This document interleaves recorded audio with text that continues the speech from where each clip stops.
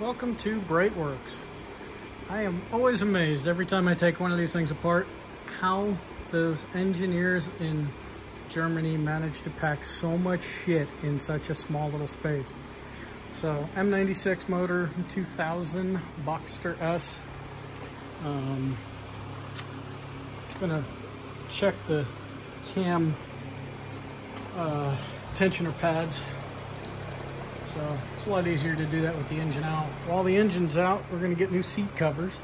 So, I mean, this, uh, and we're gonna get the bumpers painted. Unbelievable how much space all this stuff takes up. These are little cars. They're tiny little cars. How does all that shit fit in them?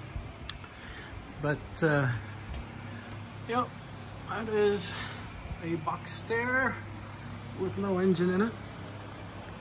So there's a couple little gotchas in here um, as you're going along. The way they route this e-brake cable is kind of stupid, but hey, you just got to deal with it and figure out how to how to make it happen. But yeah, not only do I have stuff in front of the car, to the left front of the car, the actual car, and then over here, we got a whole nother pile of crap. So axles, exhaust, bumper. Unbelievable how much stuff they are able to fit into one of these little Boxsters. But uh, 3.2 liter engine, just gonna go through it, do all the stuff you should do, and then who knows, maybe we'll sell this one.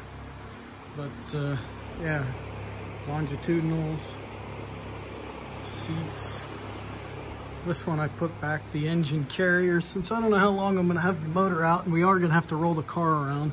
Put the engine carrier back in and I put the little tray back in.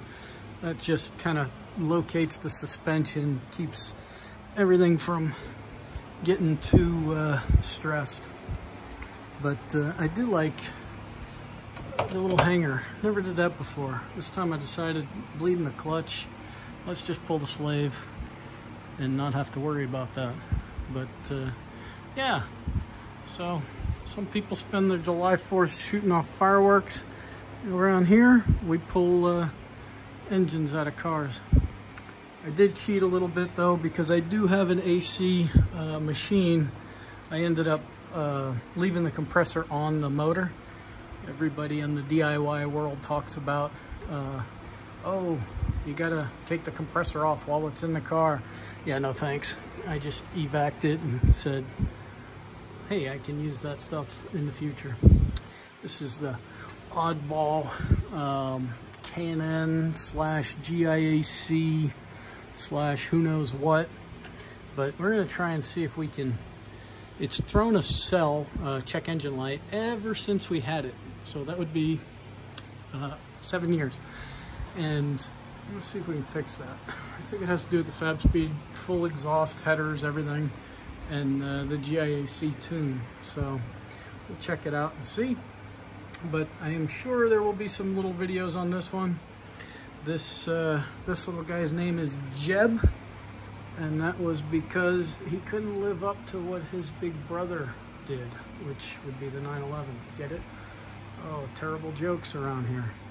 Anyway, hey, thanks for watching. If you like these kind of videos, click that subscribe button. We'll keep doing it. And uh, happy July 4th. And we'll keep in touch. Check us out at breitwerks.com.